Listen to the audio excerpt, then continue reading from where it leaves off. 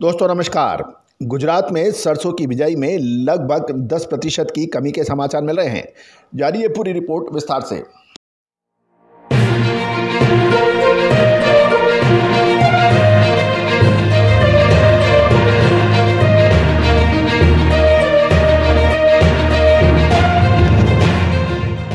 गुजरात राज्य के सबसे बड़े उत्पादक क्षेत्र, उत्तरी गुजरात में बुआई करीब साढ़े तीन प्रतिशत बढ़ने के समाचार मिल रहे हैं जबकि चालू सीज़न में अभी तक की अवधि में गुजरात के प्रमुख रवि तिलहन फ़सल सरसों की बुआई में नौ दशमलव नौ तीन प्रतिशत की कमी के भी समाचार हैं।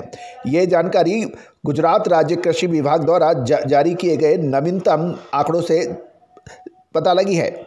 इस बार बिजाई एक की, की एक विशेषता यह भी बताई जा रही है कि गुजरात के चार में से तीन उत्पादक क्षेत्रों में बिजाई में कमी के समाचार हैं। गुजरात कृषि विभाग ने अपने नवीनतम आंकड़ों में बताया कि चालू सीज़न में, अभी तक की अवधि में गुजरात में में सरसों की कुल तीन लाख चार हज़ार सात सौ हेक्टेयर में बिजाई हुई है।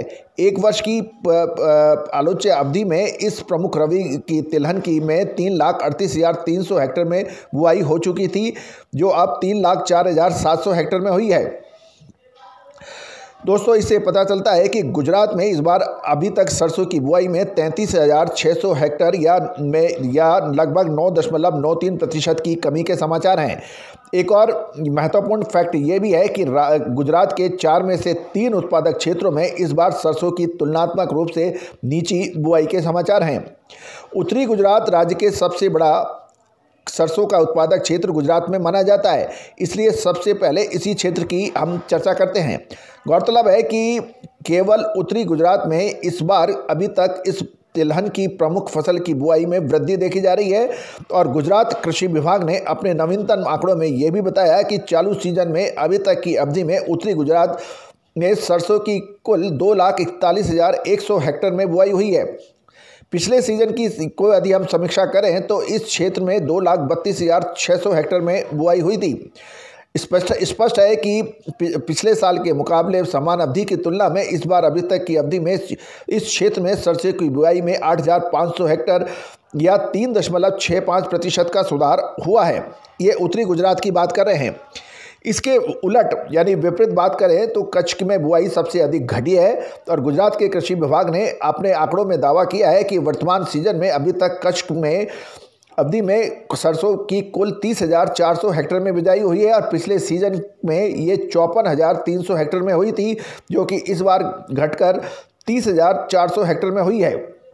इससे यह भी जानकारी मिलती है कि पिछले सीज़न के यदि हम समीक्षा करें तो इस बार कच्छ में प्रमुख रवि की फ़सल तिलहन के यानी सरसों में तेईस हज़ार नौ सौ हेक्टर या लगभग चौवालीस प्रतिशत तक की गिरावट है, जबकि उत्तरी गुजरात में इसमें अधिक है।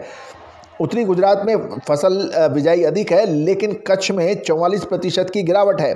इसके बाद हम सौराष्ट्र में बात करते हैं। सरसों की बुआई में सौराष्ट्र में भी गिरावट की समाचार हैं और कृषि, गुजरात कृषि विभाग ने ये यहाँ तक कहा है कि सौराष्ट्र में कुल फ़सल चौबीस हज़ार सात सौ हेक्टेयर में हुई है और पिछले साल ये बयालीस हज़ार सात सौ हेक्टेयर में हुई थी। तो बिल्कुल स्पष्ट है कि पिछले सीज़न की तुलना में सौराष्ट्र में भी इस बार सौराष्ट्र सरसों की बिजाई में आठ हज़ार हेक्टेयर, यानी बयालीस दशमलव एक पाँच प्रतिशत की गिरावट है। मध्य गुजरात में भी सरसों की बुआई में कमी के समाचार है और गुजरात कृषि विभाग ने जो आंकड़े जारी किए हैं उसमें मध्य गुजरात में सरसों की कुल 8,500 हेक्टेयर में बुआई हुई है जो कि पिछले साल 8,600 हेक्टेयर में हुई थी। इससे ये जानकारी मिल रही है कि इस बार यहाँ भी लगभग सौ हेक्टेयर या एक दशमलव एक छः प्रतिशत की कमी आई है। तो कुल मिला के जानकारी ये मिल रही है कि उत्तरी गुजरात के अंदर सरसों की बिजाई शानदार है। इसके विपरीत कच्छ, सौराष्ट्र और मध्य गुजरात में सरसों की बिजाई में कमी के के समाचार हैं। कुल मिलाकर लगभग 10 प्रतिशत ओवरऑल सरसों की बिजाई गुजरात में कम होने के समाचार हैं। दोस्तों, याद रखना कि आने वाले फरवरी और मार्च सरसों के लिए बहुत महत्वपूर्ण साबित होने वाले हैं। क्या ये तेज़ी के होंगे या मंदी के? विशेष रिपोर्ट के लिए संपर्क करें। गौरतलब है कि राजस्थान सरसों के उत्पादन करने वाले में, राज्यों में सबसे शीर्ष राज्य माना जाता है। यहाँ पर पूरे देश की लगभग छियालीस दशमलव ज़ीरो छः प्रतिशत सरसों का उत्पादन होता है। उसके बाद हरियाणा का नंबर आता है। यहाँ पे बारह दशमलव छः शून्य प्रतिशत की का पैदावार होती है। उसके बाद ग्यारह दशमलव तीन आठ प्रतिशत मध्य प्रदेश में और दस दशमलव चार नौ प्रतिशत उत्तर प्रदेश में होती है। पश्चिमी बंगाल का नंबर इसके बाद आता है। या सात दशमलव एट आठ एक प्रतिशत की सरसों का उत्पादन होता है और बाकी सारे राज्यों में बारह दशमलव तीन दो प्रतिशत का उत्पादन होता है।